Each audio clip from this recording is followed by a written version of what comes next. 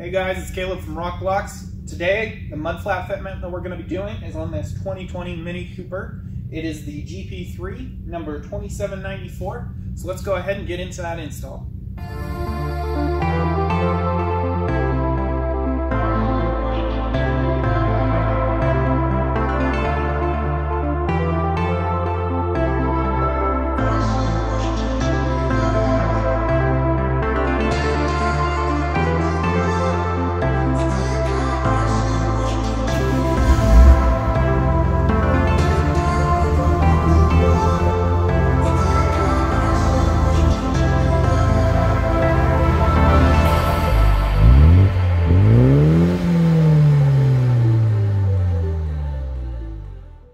So here we have your front laid out. You'll get your front flap, you'll get your backing plate. You'll press in three number 10 flange nuts into that backing plate. You'll get an M6 by 16 millimeter screw. You'll get three number 10 half inch screws. You'll get four washers, a nylon clip, and an XL bracket. All right, so the tools you'll need for the install is a 19 millimeter. You'll use that to kind of help keep the nylon clips from spinning. You'll need a 4 millimeter Allen, a 3 millimeter Allen, an 8 millimeter socket, and a Phillips head screwdriver. All right, so now we're at the workbench or the work floor, and we're gonna go ahead and put the parts together that you'll need. This is the backing plate. What you want to do is press the number 10 flange nuts into the backing plate as such, and these flange nuts are on the back side, which will be facing the liner. So now that we've got that prepped, we're gonna go ahead and mount our fender clip on here. You take your nylon clip, put it on the textured side, the side with the logo. We're gonna hold that using our 19 millimeter. Then we're gonna take our 16 millimeter button head with a washer and secure that to the flap. Go ahead, get that started a couple of turns by hand.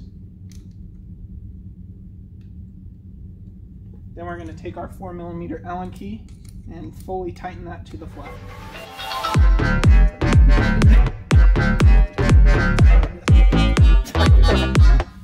Alright, now that we've got the backing plate, we're going to go ahead and set these off to the side. We're going to grab our large L bracket and we're going to mount that to the bottom of the side skirt here.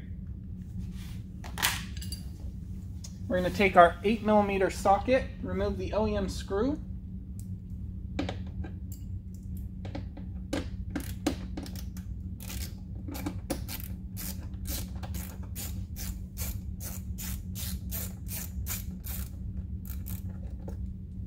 Now reusing the OEM screw, we're going to put it through the short arm with the big hole and orient the bracket like so.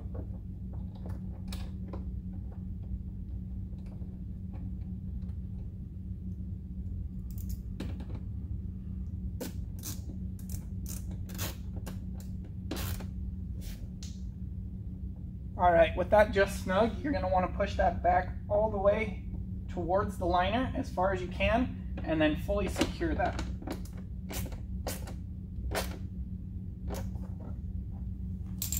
All right, now with that in place, we're gonna take our backing plate and put it in here. We're gonna put it behind the bracket and then we're gonna push the liner in and tuck that into the side skirt, aligning the inner hole with the hole on the bracket. With the bracket in place, we're gonna grab our flap and our half inch number 10 screws. We're going to put a washer on it and we're going to start by mounting this inner mounting point. Going to go ahead, get that started by hand, and then we'll lift it up into position, aligning the other mounting holes, and use the remaining two number 10 screws. And we'll also get those started by hand With the three lower mounting points in place, we're going to take our upper portion of the flap, we're going to slide it in, align the flap so that it's flat with the fender, and we're going to pull it out so that that clip grabs the edge of the fender. With that in place, we can go ahead, adjust this, set it to our liking, and then lock those three screws down, and you're good to go. You can move on to the rear.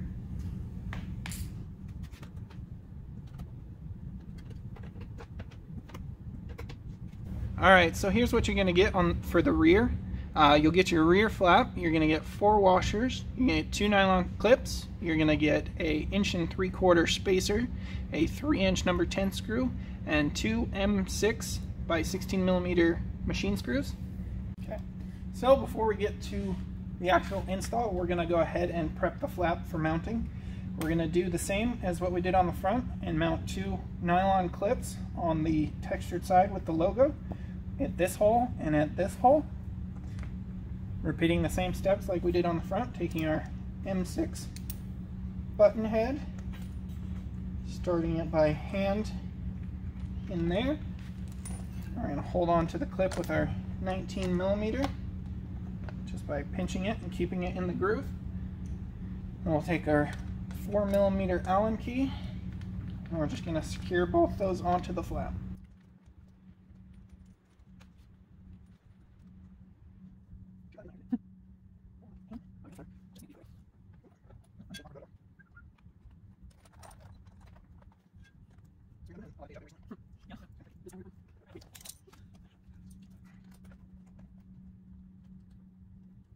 Orange covers see how that changes the light. Yeah, still harsh. Have Right. Hmm.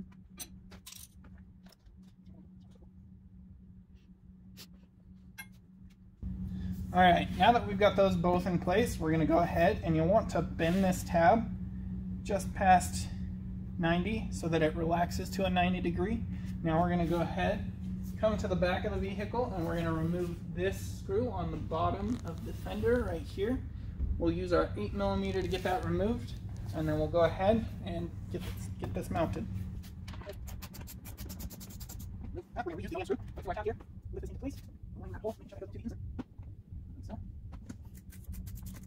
All right, now that we've got it mounted on the bottom and we've just got our flap hanging here, we're gonna go ahead and remove the eight millimeter screw from in here.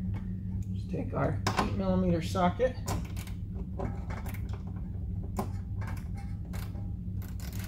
loosen that all the way up.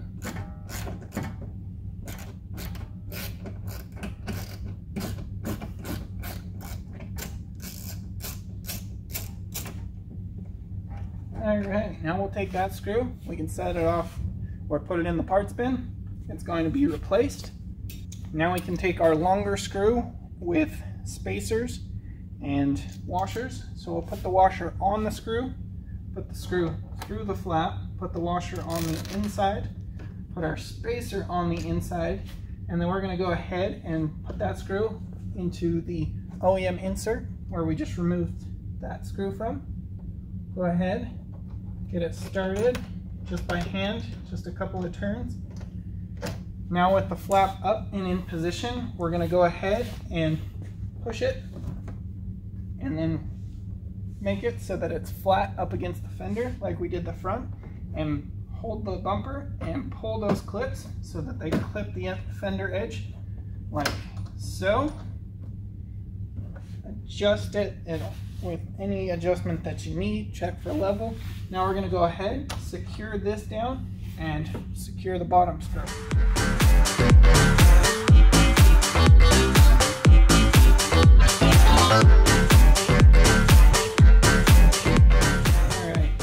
That spacer up top is a rubber spacer, you're not going to want to tighten it all the way down. You're just going to want to compress it till the flap touches the liner.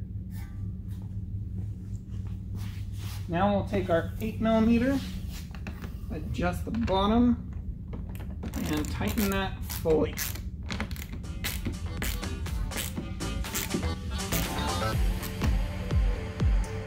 Right, there you go. That's the install. Thanks guys for watching. Hopefully you liked seeing the Mini. Hopefully you liked watching the install video. Give us a thumbs up and we'll see you next time. Hey guys, thanks for watching our install. Um, this car is super rad. It is one of 3,000 made. It is the Mini Cooper GP3. Um, it's got these ridiculous carbon fiber infused plastic fenders that just make the entire car stand out.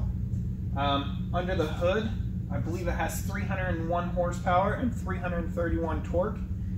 all coming from the two liter turbocharged engine underneath the hood.